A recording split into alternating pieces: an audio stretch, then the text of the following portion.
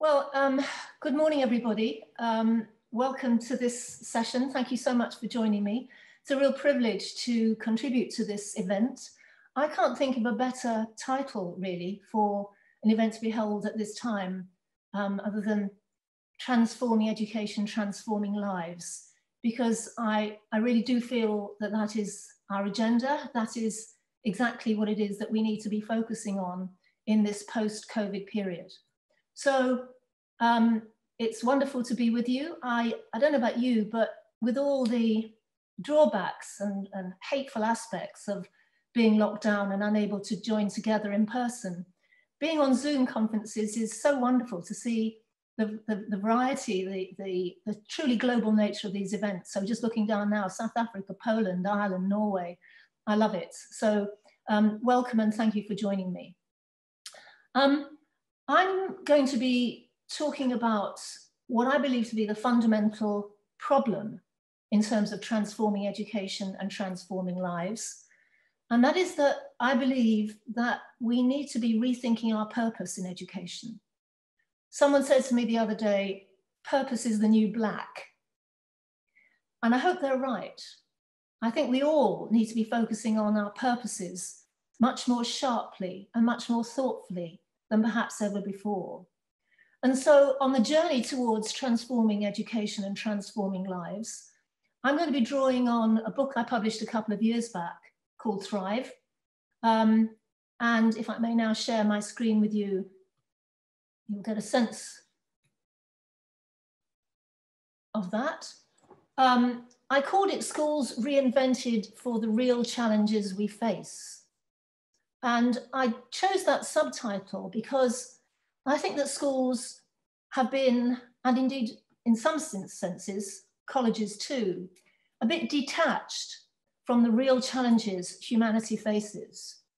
And my agenda really is to try to connect in a really direct way what schools are doing and the challenges facing us as a planet and as humanity. So that's why I chose that title, and that's what I'm going to talk about this morning. Can I say I really, really would welcome your questions and your comments. Um, the chat function is obviously there for you to start recording them as you go in terms of being active listeners.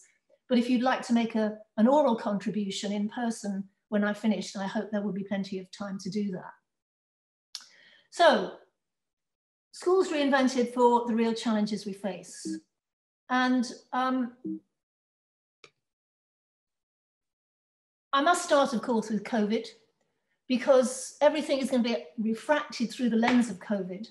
And I'm sure in terms of yesterday's debate, you started to get into this. But here are some of the things which I think are important to keep in our minds as we hold this debate. The first is that we've learnt through all of this that life is not stable and steady state and reliably comfortable. And it's a very important lesson to have learned that we are in precarious circumstances. Not to learn that to become anxious and to transfer that anxiety to young people. You know, I do think that for generations born after 1945, most of us, we have come to believe, other than some scares around our nuclear fragility, that life just goes along smoothly and comfortably and of course, it does not. If you lived in Syria or Afghan, Afghanistan or um, Yemen, you know that very well. And for the multi millions of migrants now who are forced from their homes because of the instability of their region, they've learned that. But across much of the global north, we've continued with schools as though life is just as it was in the past, and we don't need to worry too much. COVID 19 was neither unprecedented nor unpredicted. It was not unprecedented because pandemics in the past have thrown societies into chaos and reordered their, their economies. You only need to look at the Black Death and Spanish flu. And nor was it unpredicted. Um, if you look at Bill Gates's TED talk from 2016, he predicted it with incredible levels of specificity and set out some planning proposals which were largely ignored. But there are other really unprecedented shifts, really ones which are both predictable but utterly unprecedented in humanity's history. I'm going to talk about two in particular, the planetary emergency and the apotheosis, apotheosis of technology, technology assuming godlike status. The third piece of learning I think that's important is that futures thinking really matters. We know some stuff about where trends are leading us. And the whole discipline, I think, of futures thinking, that of anticipation, scenarios use, is going to become much more central. And there may be in the audience today from higher education some people who are working in the area of futures. And I think their work is going to become more and more important. And of course, the fourth thing to note is after this health crisis will come the economic and the social crises. we are already starting to see the beginnings of those, um, but I fear that we're just in the foothills of what will grow over the coming year. And it's wonderful news, of course, about the vaccine that we've heard in the last 24 hours and two or three others which are about to announce in the next week. But still, the aftermath of this, in terms of the economic fallout and therefore the social crisis, will be immense. And finally, I want to say that inequality and deprivation both caused greater hurt. In other words, it made you more vulnerable to the virus itself and to the illness. But it is also, there are also outcomes of, of the virus itself. So inequality has grown during this period and will continue to grow as unemployment becomes an even more severe and serious problem. So we can't, I think, set aside what lessons there have been through COVID. But where I want to go next is to think about this issue I raised at the beginning. If education is to help us get out of all of this, we need a new narrative, a new story about what education is for. And I think that that story, that new narrative, has to start with our purpose. I come back to Bill Gates. I'm not a huge Bill Gates fan. It sounds as though I am. I've referred to him twice already, but I was very struck by his blog in 2018, in which he said, Our biggest worry is not an attack by rebellious robots, but a lack of purpose. And I believe that to be profoundly true. So I want to argue that our explicit purpose in education, particularly, but more generally, is about learning to thrive in a transforming world. So there are two parts to that statement. One, we have to ask ourselves, what do we mean by thriving now? What are our new definitions of success? What is our understanding of what it is to flourish and to thrive on this world of ours in, this is the second part of the equation, a transforming world, a world which is not that which it was like at the beginning of this century. So I'm going to begin by thinking about the nature of the transforming world. Um, here is the book in which I set out this arguments in depth. Please don't bother looking for it at the moment because it's sold out and out of print. And we have just completed a second edition, which Cambridge University Press will be bringing out in February of next year. And I do hope that perhaps then you might look at it and in greater depth evaluate the strength of the arguments I advance in it. And it starts with what good evidence do we have about the coming 30 years, about the nature of the transformation? And of course, there is a paradox in talking about evidence about the coming 30 years because they haven't happened yet. So how can you gather evidence about them? Well, we do have very, very good trend data. Now, trend data, of course, is problematic in that it is always, we are always subject to the utterly unforeseen what the futurists called the wildcards, of which COVID 19 is a perfect example. The wildcard comes and strikes. So would an asteroid or um, a nuclear accident of immense proportions. But we do have good evidence about the way in which trends are moving if there are no other interventions. And it's those that I'm going to concentrate in the next 10 minutes or so. Stephen Hawking one of the greatest scientists the world has ever seen, just before he died, wrote a book called Big Answers to the Big Questions. And he remarked that he thought our future is a race between the growing power of our technology and the wisdom with which we use it. And he hoped before he died that wisdom will win. And I think that education is part of the effort of ensuring that wisdom will win. But for that to happen, we have to transform our institutions very profoundly, I think. Another writer about the future whom I've looked at a good deal is Klaus Schwab, who is the chief executive and founder of the World Economic Forum. He wrote a book on the fourth industrial revolution and he remarked in that the changes coming are so profound that from the perspective of human history, there has never been a time of greater promise or potential peril. It's very important that you notice both of them, promise and peril. My concern, however, is that decision makers are too often caught in traditional, linear, non-disruptive thinking, or too absorbed by immediate concerns to think strategically about the forces of disruption and innovation shaping our future.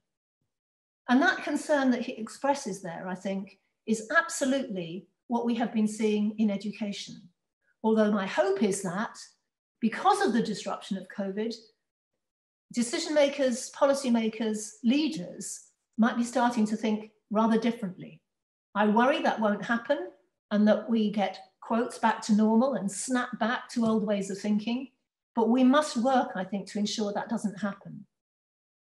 Because the evidence suggests that there are three major tipping points or pivots, or if you like, inflection points that will distinguish humanity in the 21st century. And I've tried to gather the evidence around these um, to make them kind of accessible in ways that make sense.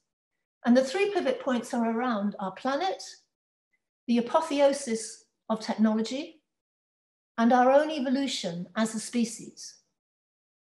So if I start with the first of those, it would seem that our planet is at a tipping point, never see, be seen in human history before. And there are three strands, as it were, which combining together will take us we know not where. And the three strands are the sixth great extinction, our entry into the Anthropocene age, and of course, the climate emergency. So taking those in turn, the sixth great extinction, little discussed up until very recently, is now one of the prominent perils that face us from many points of view. From a moral standpoint, I would say, what right have we to continue along the path that we are in which we are seeing widespread elimination of the biodiversity of our planet. And if you doubt it, take a look at the UN report from May of last year on biodiversity and ecosystems, in which they said ecosystems, species, wild populations, local varieties and breeds of domesticated plants and animals are shrinking, deteriorating, or vanishing. The essential interconnected web of life on Earth is getting smaller and increasingly frayed, and it's the direct result of human activity. They observed there that it constitutes a direct threat to human well-being. And man, how right they were, because of course COVID-19 is a zoonotic uh, virus. It has jumped from animals to humans, and it has done so because we are completely out of balance in our natural environment. Our encroachment into wild habitats, the deforestation that is going on, the use of wild animals in wild animal markets in many parts of the world has led precisely to the jumping of a virus from animals to humans. And it's not going to be the last by any means. Biologists estimate that there are around 700,000 other viruses out there which could jump at any time. So the answer is not a scramble for another vaccine every time. The answer is to reset our relationship with the natural world. And as you see from the UN report at the bottom there in red, they remark the current global response is insufficient. Transformative changes are needed. That word again, transformation. Transformative changes are needed to restore and protect nature. And opposition from vested interests can be overcome for the public good Well, I don't think it can be overcome unless we start to educate people very differently and put at the very center, not at the periphery, not at the edges, this issue about the peril in which our planet rests. The second strand is our adventures into the Anthropocene. We have entered a new geological age. I don't have time in this very short talk to talk to say much about it, but our boring many hundreds of centimeters or kilometers into the earth after the search for, for uh, fossil fuels, um, the acidification of the oceans, human activity is changing the very structure of the planet itself. And of course, there is the rise in surface temperatures. And you all know this audience does not need to be told by me how very urgent it is that we ceased, that we cease the rise in those temperatures and start to reverse them. And God help us that with the recent election, perhaps the world will get on track again to have international agreements which address that issue. If they don't, life on our planet will be unsustainable and this existential threat will be realized. I am sorry if I sound you know, apocalyptic or catastrophic. It is because the situation merits no less. So that's one pivot or turning point for our world. The second point of pivot is technology coming into control, perhaps. And I think there are three strands here. One is job disruption by robots. The second is the rise of artificial intelligence. And the third is global connectivity. And I want to start with that last one because this is one of the positive aspects on which we can dwell. Global connectivity, what some writers now called big mind, is such that across the world, science and research is absolutely fundamentally, instantly interconnected in a way that has never happened before in human history. And again, if you want a perfect example of that, the search for the vaccine for COVID has demonstrated it because research teams across the world have been sharing data, sharing approaches, obviously pursuing their own research pathways, but learning absolutely instantly from what their colleagues across the world are doing. So this creation of big mind across our globe is an incredible opportunity and a complete shift from the history that humanity has shared previously. Growth of artificial intelligence, this data only goes up to 2015. I'm sorry that the y-axis is a little unclear. This is the number of patents um, that were filed in that time, sourced from the OECD. And you can see the growth of those up until 2015, and that growth has only accelerated in the meantime. But of course, all of this is bringing about a disruption such as we have never seen before. And that disruption will only have been accelerated by the COVID-19 virus. Um, you will have seen many popularized books like this one from Federico Pistono saying robots will steal your job, but that's okay. Um, you won't feel quite so okay if you're on the receiving end of it. And here is the last data I could find back in 2019. I'm sorry about the poor quality of this slide, it's a bit fuzzy, but shows the percentage of existing jobs at potential risk of automation. And the brown, fairly straight upward tra uh, trajectory there is all sectors. So you can see that by the mid 2030s, this PwC estimate was suggesting that about 30% of all jobs will be, have been impacted. Now this was before COVID-19. And we know that at periods such as this, employers, all kinds of companies, are rapidly automating, partly because they now can and they've needed to, but also because it's a way of driving down costs. So if anything, the speed of this impact and disruption is going to have been accelerated by COVID-19. The third pivot or inflection point in human history, utterly unprecedented, is the way in which we as a species are acting upon our own evolution. And that maybe that there are some biologists on the call today, and I'd be very interested in your comments. But from the literature and the research, I discern three strands or, or, or elements of this shift that are entwining together, leading we know not where. The first is around genetic engineering. The second is around the convergence of human bodies with artificial intelligence. And the third is human enhancement technologies. HETs. If I start with the third of those, of course, they are not heritable. They will not be affecting our uh, evolution. But human enhancement technologies do affect the, the nature of us as humans, I think. I mean, many of the people on this call will have been enhanced. You might have had a transplant or a pacemaker, certainly new knees and hips, loads of them. Almost every element, every organ of the human body is now replaceable, capable of being replaced. I mean, retina, uh, um, lens replacements in the eye is so common now. So the human enhancement technologies are impacting on our bodies in real time in enormous numbers of ways. But of course, the convergence of human bodies with artificial intelligence, the point at which we move away from holding our phones close to our body the whole time and having it implanted is not very far away at all. And when our brains are permanently connected to the internet, what does that make us? Genetic engineering, though, is the one I think that for me makes the back of the, my, my, the, head, the hairs on the back of my neck sort of stand up because I can hardly get my mind around this.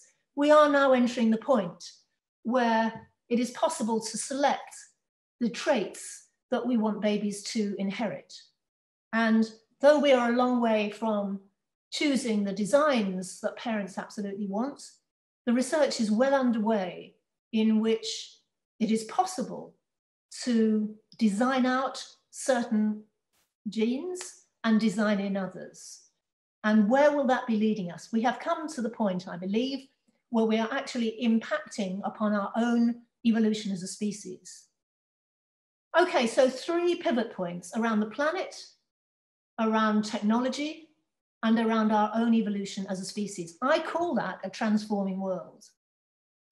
And whilst it's not in everyone's face straight away, these are things which are going to impact our future in a huge and important fashion. So I repeat, I would want to argue that our explicit purpose should be about learning to thrive in that world, that transforming world. And so we now move to ask ourselves, what will it mean to thrive?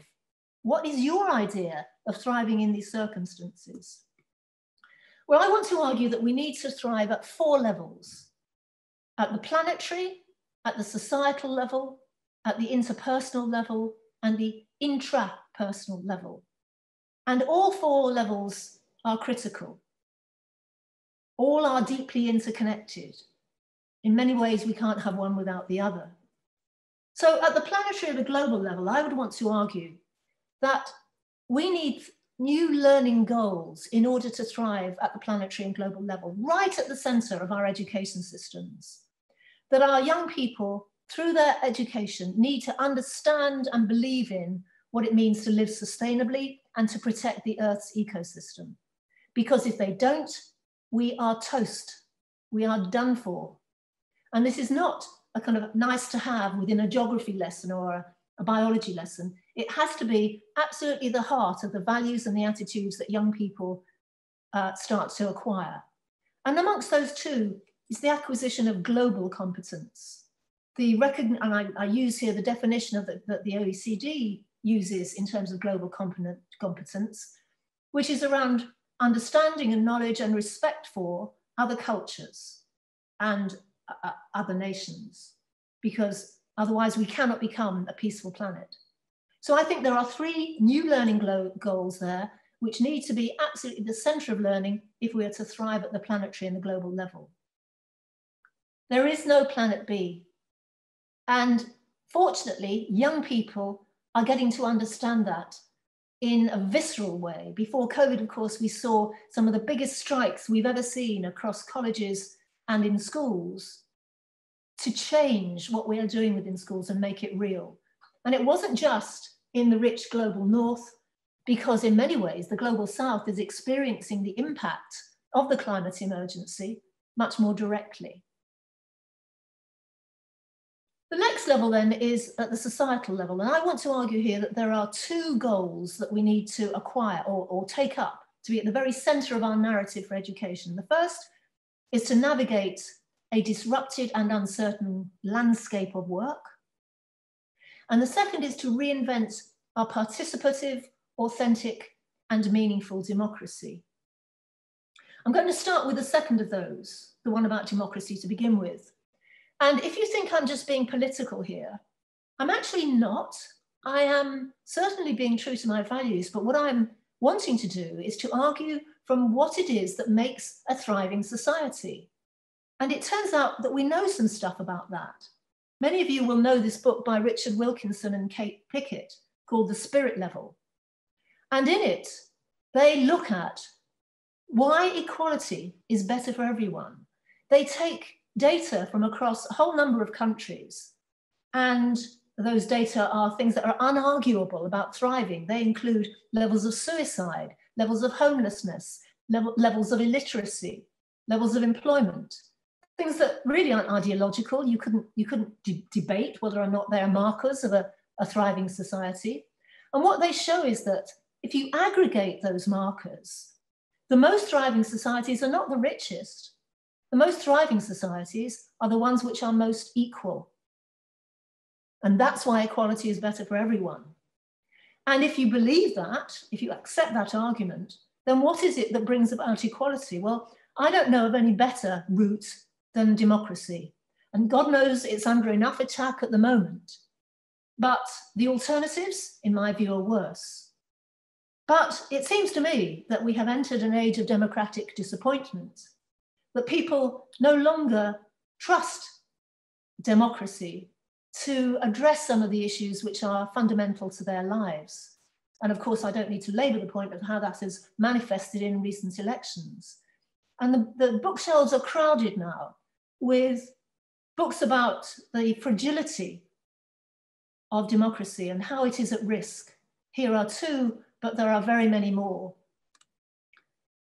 Um, in a recent article in The Economist, they made the point that democracies are generally thought to die at the barrel of a gun in coups and revolutions, but these days they're more likely to be strangled slowly in the name of the people. So that's why I say that at the societal level, one goal should be to, to reinvent a participative, authentic, and meaningful democracy. And that surely has to start in schools, not by teaching about our civic institutions, but by enabling young people to think and to act in ways that help them to understand what democracy is really about. It's about more than voting, it's about a free press, it's about freedom of expression, it's about the independence of the judiciary, it's about the respect for the rights of minorities, it's about many things.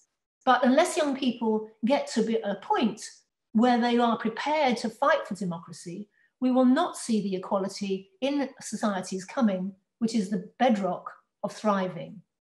And the second point I make there is the need to navigate a disrupted and uncertain landscape of work. Because as I already argued, if, it's, if we know one thing, it is going to be disrupted. And there's plenty of arguments about this. You will all know these data, I suppose, that from the shift into the 21st century, we won't have one path, but many, many, and several careers, not just in one area. Um, that's familiar.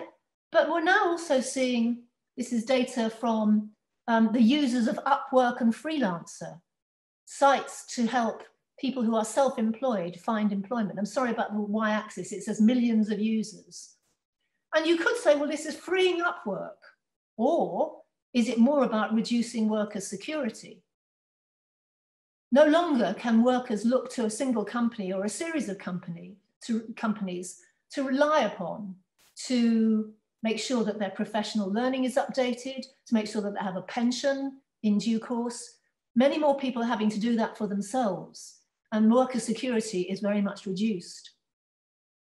Nor are the professions a safe haven. So if you don't know the work of Richard and Daniel Susskind, I really recommend them to you. And in that, they explore how technology will transform, that word again, the work of human experts and the impact of technology on professions. So all of these areas are going to be disrupted. And the goal for education in schools, particularly then, needs to be to enable young people to navigate this new world with a degree of confidence and understanding. And of course, all of this has been accelerated by globalization, robotics, and indeed by the nature of this pandemic itself. There are those who argue that we need to focus on what it is that humans can do that robots can't. And quite often, two things come up creativity and collaboration. And the last time I was going through an airport, which happened to be Singapore, I was going up an escalator and I saw this advert and took a quick photograph of it because it made me laugh out loud. Let's write the future with robots that have what it takes to collaborate. So, do we think then that collaboration is unique to humans? It's going to be very difficult, I think, in the future to decide what it is that's utterly exceptional about humans. And therefore, we have to be really smart in thinking about how we enable young people to navigate their way through that. Two more levels to go then. I think we need a new set of goals around how we thrive interpersonally. And I think there are around two things. One is enabling young people to learn how to create loving and respectful relationships in diverse and technologized societies. And the second goal is to engage with and learn from other generations. I'll deal with that last one first because I'll be very quick. The, if you look at the graph, and I'll, I'll do it very quickly, there, the world's population of centenarians is about to grow eightfold. We are becoming a much older species. And what is the prospect? That our older, the seniors, will be kind of warehoused out of the way, uh, just, just kept quiet, perhaps by robotic care assistants or AI enabled pets? Or can we create circumstances in which the wisdom and the knowledge of older people is actually becomes a part of our learning fabric? But where I want to go really to begin with is around this whole issue of her learning how to create loving and respectful relationships in diverse technologized societies. And I come back to this issue about technology again because Many people would say that increasingly young people are today's Mowglis. I don't know if you know Mowgli from the Jungle Book, who was brought up in the forest by wild animals. And today's Mowglis are being brought up by screens. And young people have a more direct and powerful relationship with their screen than they do with humans. And there are psychologists who would argue that the casualty of all of that is empathy. That empathy is absolutely at the heart of great relationships. And how do we teach empathy in school? How do we make connections?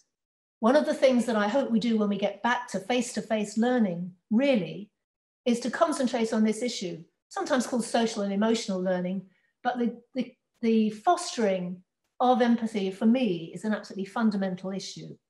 And loving relationships too, in circumstances where even sex is becoming in, completely embroiled in technology. Meet Harmony.